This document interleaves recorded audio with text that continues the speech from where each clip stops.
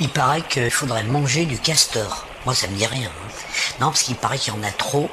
Euh, ça fait des dégâts écologiques. Euh, donc, il faudrait manger du castor pour en éliminer un peu. Moi, moi, ça me dit rien. Hein. Bah, attends, le castor, euh, ça a un goût de, de barrage.